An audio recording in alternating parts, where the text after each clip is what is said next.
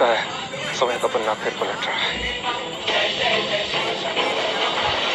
कोई चमत्कारी घड़ी आ रही है।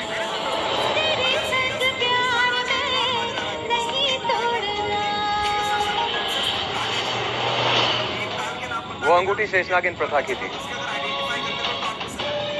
आज अगर वो अंगूठी अपनी स्वेच्छा से बाहर आई है तो अपना